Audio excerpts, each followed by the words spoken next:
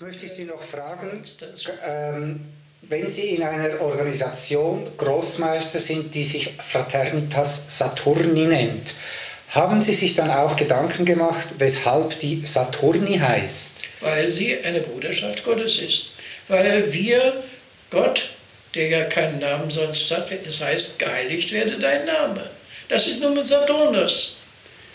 Aber wo steht denn, wo, äh, gibt es historisch Belege, dass Gott Saturnus sein soll? Wieso nicht Denn Jupiter? er, den Gedenke, dass du den Sabbat heiligst. Und Saturnus hat ja den Sabbat als seinen heiligsten Tag. Und, das, und Sie glauben, das ist der einzige Grund, weshalb diese Organisation Saturni so habe ich heißt? geglaubt früher. Nachdem ich alles Mögliche bei Ihnen gelesen hatte, kann, kommt man an alle möglichen Zweifel.